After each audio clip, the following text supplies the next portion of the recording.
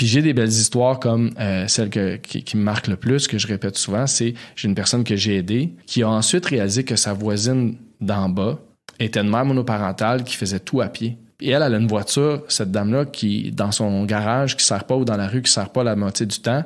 Donc, elle a décidé d'assurer une étrangère, sa voisine, sur sa voiture pour lui permettre de l'utiliser. Elle a donné un, un elle a dit Tu vérifies si je suis là, si j'en ai besoin, et sinon, elle est à toi autant qu'à moi. Fait que ça, c'est quelque chose que peut-être la personne n'aurait jamais fait si j'avais pas été chez elle, humblement. C'est ce qu'elle m'a partagé elle-même après mon passage. Tu leur donnes les clés, les clés de l'altruisme. Allez, débrouillez-vous maintenant. Aidez-vous. oui, exactement. Puis, tu sais, faire une parenthèse avec, euh, euh, je sais pas si on en aurait parlé, mais l'entraide, on en avait parlé euh, suite à ton passage à la radio. Je vais jamais enlever les, la noblesse à l'entraide. Par contre, moi, de mon expérience récente et humble, j'ai trouvé une faille à l'entraide dans ce que moi je propose aux gens. C'est que la plupart des gens que j'ai aidés, euh, sentent pas qu'ils ont quelque chose à donner en retour, alors que l'entraide, c'est souvent un mécanisme à deux parties.